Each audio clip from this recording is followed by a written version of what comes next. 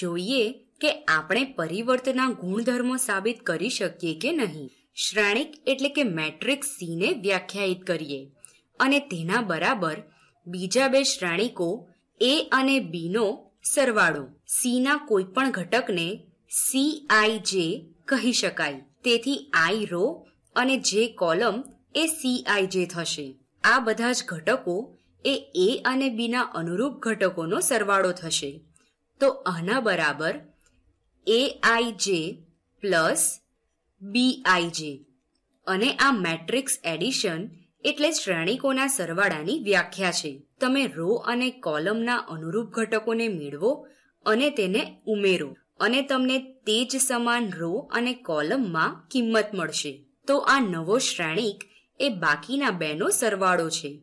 હવે આપણે આ બધા શ્રેણિકોના પરિવર્ત એટલે કે ટ્રાન્સપોઝ વિશે વિચારીએ.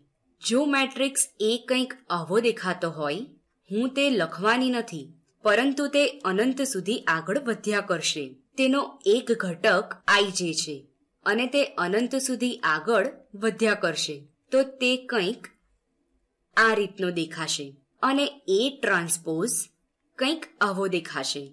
તે કંઈક આવો દેખાશે. જો તમને તે સમાન ઘટક જ મળે તો આપણે તેને એ પ્રાઇમ આઈ જે કહીશું. અને તે પણ આ રીતે અનંત સુધી આગળ વધ્યા કરશે. તે કંઈક આવો દેખાશે. તો આ બંને બાબતો સમાન રહેશે નહીં. તે કદાચ સમાન હોઈ શકે, પરંતુ તેઓ સમાન થશે નહીં. તે ઘટક એ ટ્રાન્સપોઝમાં આઈ રો અને જે કોલમમાં છે. આનો ટ્રાન્સપોઝ એટલે તેની દરેક રો અને કોલમ એ હવે દરેક કોલમ અને રો બનશે. એટલે કે આપણે રો અને કોલમની અદલાબદલી કરી. તો આપણે તેને એ પ્રાઇમ આઈ જે કહી શકીએ. અને જે એ જે આઈમાં ઘટક હતો, તેને સમાન જ થશે. અને એ જે આઈ કદાચ આપણી પાસે અહીં હશે. આ પ્રમાણે. તો આ ઘટક એ આની જેમ જ સમાન સ્થિતિમાં છે. તો આ ઘટક એ આની જેમ જ સમાન સ્થિતિમાં છે. અને તે આ ઘટકને સમાન થશે. કારણ કે આપણે રો અને કોલમની અદલાબદલી કરી. એટલે કે આ બરાબર એ જે આઈ. હવે આપણે તે સમાન દલીલ બી માટે પણ કરી શકીએ. તો સૌપ્રથમ આપણે બી ટ્રાન્સપોઝ લખીએ. તો તે કંઈક આ રીતનો દેખાશે. આઈ રો અને જે કોલમ, તો આપણે તેને બી પ્રાઇમ આઈ જે કહીશું. આ પ્રમાણે. મેં જે રીતે એ માટે કર્યું હતું તે જ રીતે. તો બી પ્રાઇમ આઈ જે બરાબર, તમે બી મેટ્રિક્સ લો, એટલે કે જે રો અને આઈ કોલમનો ઘટક. તો આ પરિવર્ત એટલે ટ્રાન્સપોઝની વ્યાખ્યા છે. જો હું હમણાં થર્ડ રો અને સેકન્ડ કોલમમાં હોઉં, તો તેના બરાબર સેકન્ડ રો અને થર્ડ કોલમનો ઘટક થશે. તો હવે આ સી જેનો પરિવર્ત એટલે કે ટ્રાન્સપોઝ શું થાય? માટે સી ટ્રાન્સપોઝ બરાબર. હું અહીં તે જ સંજ્ઞાનો ઉપયોગ કરીશ.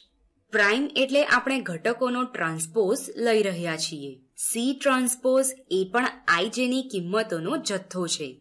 તો હું અહીં પ્રાઇમ લખીશ, કારણ કે તે બતાવે છે કે આ ઘટકો ટ્રાન્સપોઝમાં છે. સીમાં નથી. તો આપણે તેને આ પ્રમાણે લખી શકીએ. હવે સી પ્રાઇમ આઈ જે બરાબર સી જે આઈ આપણે અહીં ફક્ત ત્રણ શ્રેણિકો માટે પરિવર્તની વ્યાખ્યા મુજબ જ લખ્યું છે. હવે આ સી જે આઈ શું છે?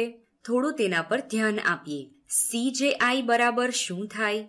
આપણે જાણીએ છીએ કે સી આઈ જે બરાબર એ આઈ જે પ્લસ બી આઈ જે જો તમે ફક્ત તેની અદલા બદલી કરો, તો હવે આના બરાબર તમે આઈ અને જેની અદલાબદલી કરો.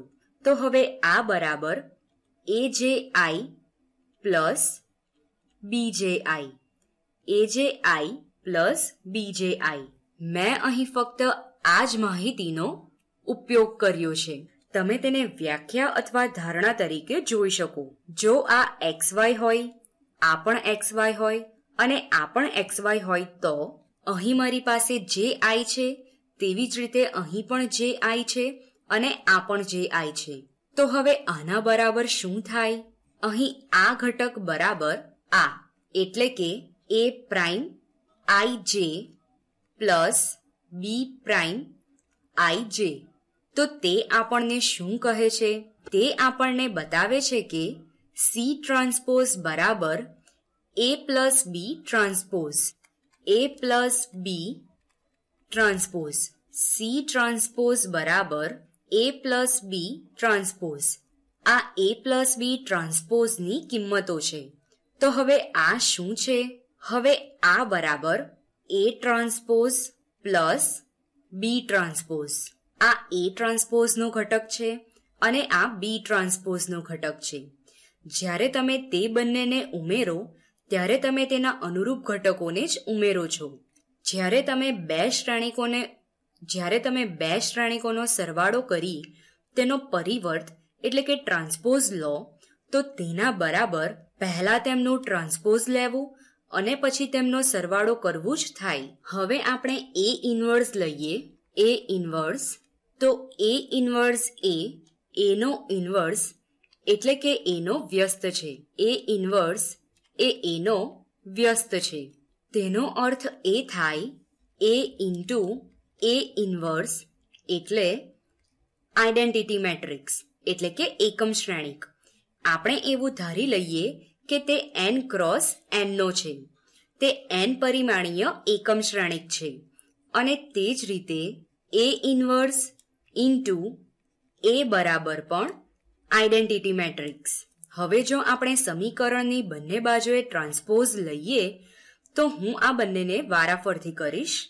એ ઇન્ટુ એ ઇન્વર્સ આખાનો ટ્રાન્સપોઝ બરાબર આઈ એન ટ્રાન્સપોઝ અને આઈડેન્ટિટી મેટ્રિક્સનો ટ્રાન્સપોઝ શું થાય? આઈડેન્ટિટી મેટ્રિક્સ એટલે કે એકમ શ્રેણી કંઈક આવો દેખાશે.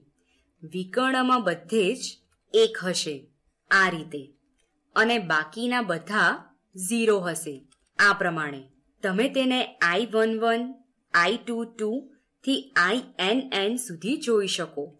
બાકીનું બધું જ ઝીરો હશે આ પ્રમાણે. તો જ્યારે તમે તેનો ટ્રાન્સપોઝ લો, તમે ફક્ત ઝીરોની જ અદલાબદલી કરો છો. જ્યારે તમે તેનો ટ્રાન્સપોઝ લો, ત્યારે આ વિકર્ણ બદલાશે નહીં. એટલે કે એકમ શ્રેણિકનો પરિવર્ત એ ફરીથી એકમ શ્રેણિક જ થશે. અને તે સમાન બાબત અહીં પણ લાગુ પાડી શકાય. આ બંને બાજુએ ટ્રાન્સપોઝ લઈએ. તો એ ઇન્વર્સ ઇન્ટુ એ આખાનો ટ્રાન્સપોઝ બરાબર આઈડેન્ટિટી મેટ્રિક્સ નો ટ્રાન્સપોઝ જે આઈડેન્ટિટી મેટ્રિક્સ એટલે કે એકમ શ્રેણીક જ થશે. અને તમે જાણો છો કે જ્યારે તમે આવા ગુણાકારનો પરિવર્ત એટલે કે ટ્રાન્સપોઝ લો, ત્યારે શું થાય? તે ઉલટા ક્રમમાં ગુણાકારનો પરિવર્ત એટલે કે ટ્રાન્સપોઝ થશે.